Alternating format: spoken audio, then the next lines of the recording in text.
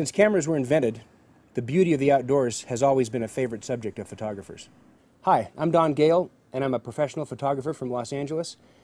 And in this Tamron podcast, we're going to be shooting here in one of my favorite places and one of the most scenic places on the planet, Yosemite National Park.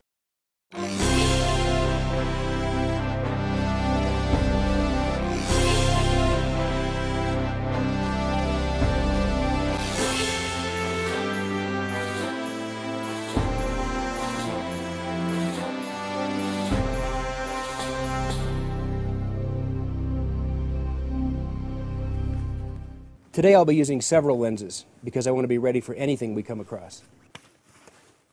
Since Tamron lenses are so light and compact, I can carry six or seven with me at all times.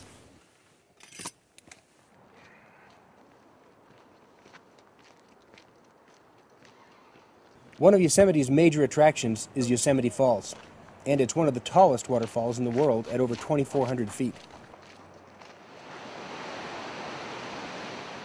I want to get a shot of it at a very slow shutter speed so that it'll blur the motion of the water for a really dramatic fluid effect.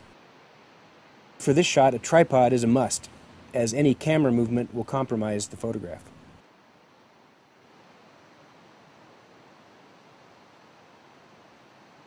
I've got the ISO set at 100 and my aperture is set at 22.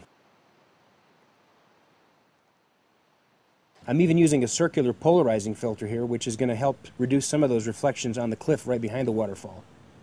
And it's also going to help slow the shutter speed by two stops. I'll even use a cable release so that I don't have to touch the camera. Right now it's late in the day, and I'm getting some diffused soft light from this cloud cover. Here's a few shots that we took earlier in the day from the same location, same subject. The only difference was the sun was out very direct light, and that combination with the vapor at the uh, base of the waterfall created this killer rainbow. It actually looks like it's clearing up, which would be great. In Yosemite, you never know when you're going to get the opportunity to shoot wildlife. Just yesterday afternoon, we came across a small herd of deer grazing just before sunset.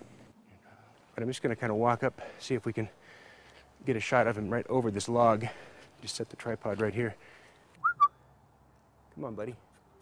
Luckily, they didn't take off when I got close, so I was able to get some great shots.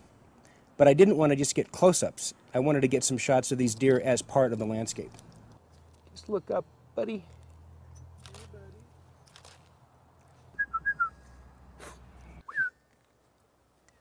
One of the things that we had to adjust on the camera here was the ISO setting. I had it previously set for a waterfall situation where we were trying to use long shutter speeds. So I went from 100 up to 400.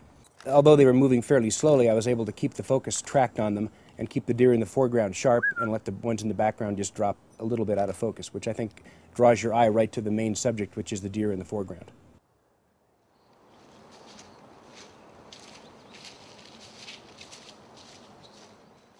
Perhaps the most iconic image of Yosemite is Half Dome. The best time to shoot it is at sunset and the most popular vantage point is from Sentinel Bridge. But I found another spot that I like even better. It's a couple hundred yards downstream. There's a small area on the riverbank that gives me a great shot of Half Dome with a much better reflection. Because it's evening, the light in the sky is much brighter than that of the foreground. So I'm using a graduated neutral density filter to balance out the light.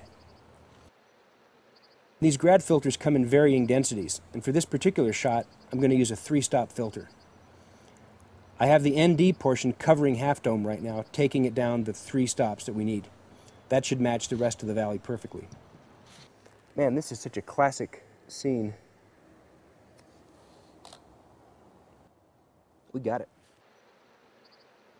Remember, you don't need to be in a place as beautiful as Yosemite to get great pictures.